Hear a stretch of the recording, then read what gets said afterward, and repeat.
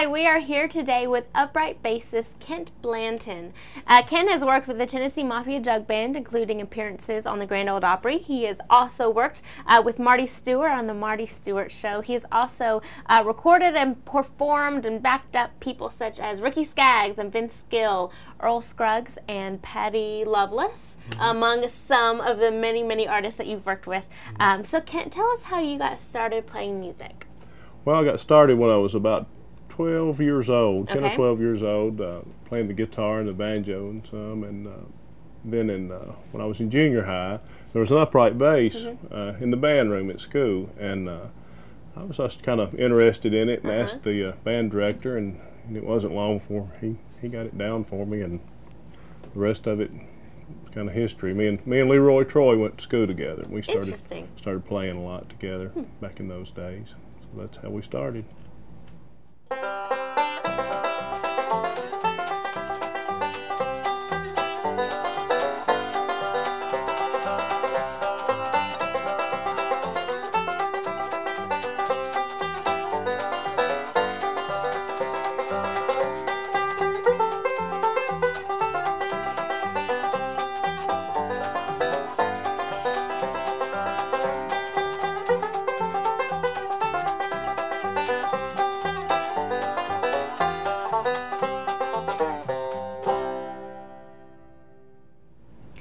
Kent, I know you've studied with some of um, legendary uh, musicians. Who were some of your influences, and tell us more about that? Well, mainly, uh, my biggest influence was a, a, bass player here in Nashville named Joe Zinkan. Okay. This is Joe's bass, by the way, that, that uh, I acquired. But Joe was a, a A-team player okay. throughout the 60s uh, into the 70s. Yeah. But he started uh, in the 30s working with the Delmore brothers. Hmm. And he worked with Roy Acuff throughout the 40s. But he was kind of the I'd say the godfather or the grandfather, the country bass mm-hmm. player. He started out as like the, the, the well-known bass comedian, okay. but he was really the first um, serious player yeah. of the bass. He could really, really play, and yeah. he, he influenced himself uh, some of the other players such as Junior Huskey and Roy Huskey junior mm-hmm. Bob Moore, and some of those mm-hmm. guys. He was like like their influence too, and so I kind of dug back into the to the to the real roots of the instrument in sure. Nashville, and uh, and he, along with those guys I mentioned, and there was a guy named uh, Ernie Newton hmm. that used the drum head on the bass, yeah. Lightning Chance, those guys, the early Nashville guys, okay. are, are, who I really uh, studied and, and uh, influenced by. Neat.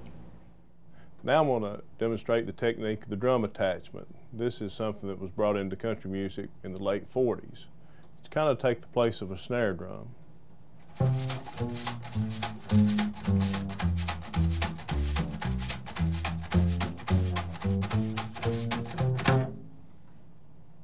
The technique to this is really uh, using the uh, drum brush, which is uh, just like what a drummer uses on the uh, snare drum. And it's really not so much hitting the, uh, the head as it's stirring, just kind of like the jazz drummers did.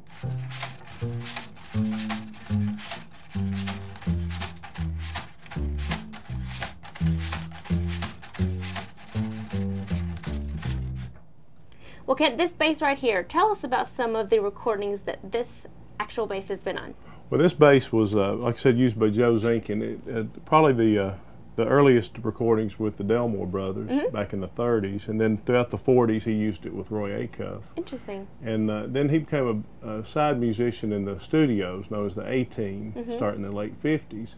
And it's on some of Patsy Cline's later recordings. Wow. It's on uh, the uh, few of the uh, Lester Flatt and Earl Scruggs tunes yeah. in the 50s, late 50s and the 60s. Um, Divorce by Tammy Wynette's a big one. Yeah, yeah. The Battle of New Orleans by Johnny Horton wow. is another big one. It's on uh, a lot of Lefty Frizzell songs, yeah. Ray Price. Uh, Pure Love by Ronnie Milsap was one of the big ones. Mm -hmm. Probably the biggest song it ever cut was uh, For the Good Times by Ray Price, which okay. was a monster cross yeah. crossover hit. Yeah. Now, Kent, you had mentioned Earl Scruggs. Um, did you go to his memorial service? Tell us um, about that. Yes, I did. I did. That was a, a very nice service for Earl. He was a, he was a very special person, yeah. and uh, and Eddie Stubbs did a, a real fine yeah. job, and and yeah. it was really a, a good send off for Earl, mm. and some good some stories were told too, which were very important for that.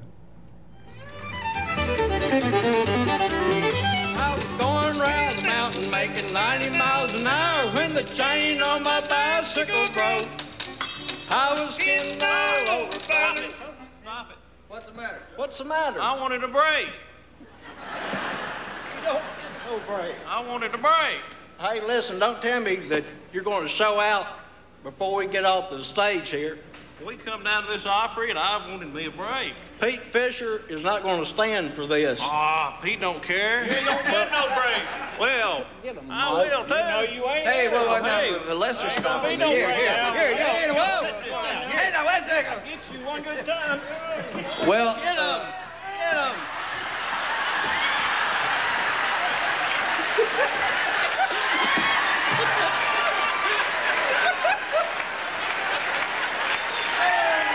He got a break.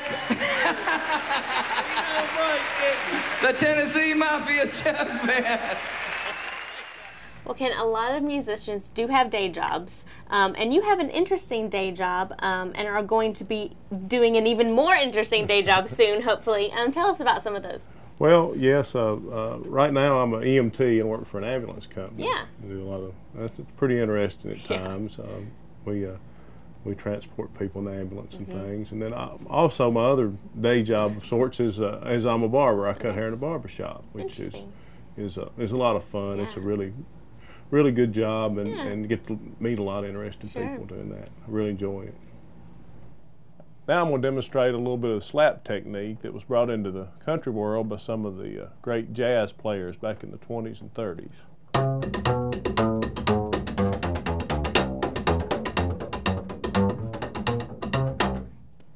Way we do this is by taking our right hand and pulling the, uh, the string just like we're playing it until we pop it against the back of the uh, fingerboard. Then we use the palm of the hand to slap down.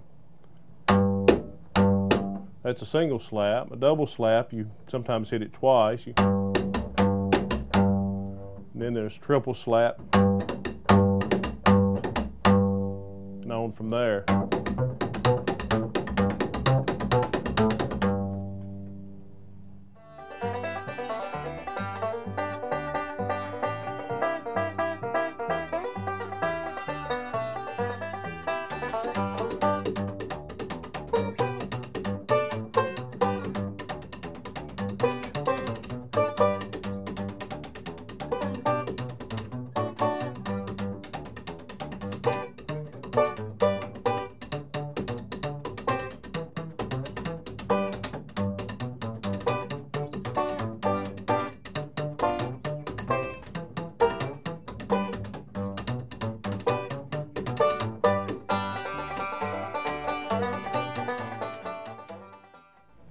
Well, Kent, thank you so much um, for inviting us into your studio. This is a very cool setup you have here and um, talking to us today.